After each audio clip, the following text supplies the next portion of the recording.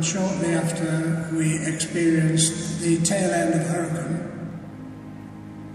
When the ship was almost vertical in a wave and you're looking down, and wallowing and then diving down over the crest of the wave and forcing into the bottom of the next wave.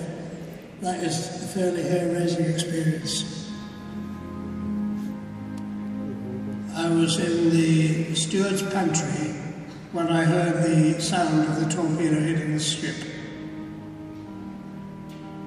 I have been asked whether I was terrified. I was not terrified. I was too busy to be terrified.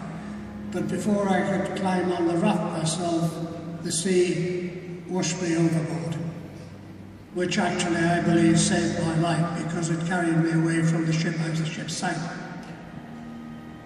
In total, 60 people on board, 50 lost their lives on that fateful night. My next ship was another tanker, the Scottish Heather. Just over three months after the Athol incident, we were torpedoed. To experience another torpedo attack in such a short period of time uh, was quite an experience, I can tell. The loss of seafarers' lives in the Battle of the Atlantic and, of course, the Arctic convoys too, was something in the order of 30,000. I personally will not forget them.